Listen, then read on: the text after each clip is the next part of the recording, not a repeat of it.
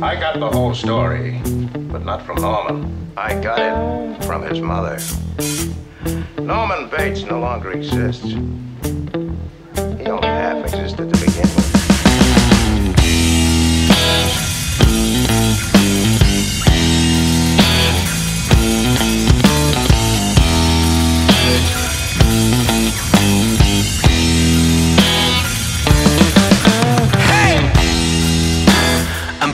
Pulling off overtime.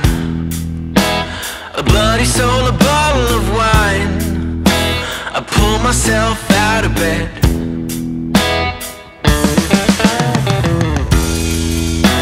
The present is getting absurd. At least that's what I heard. So I'm pulling off overtime.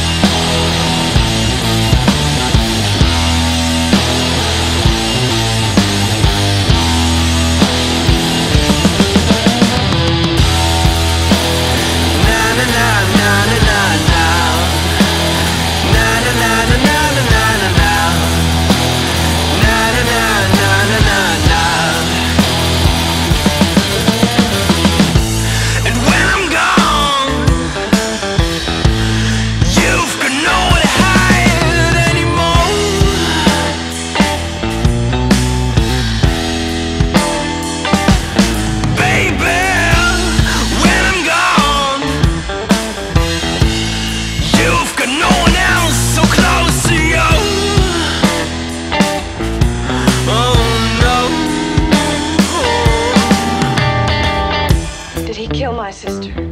Yes. And no. Why was he dressed like that? He's a transvestite.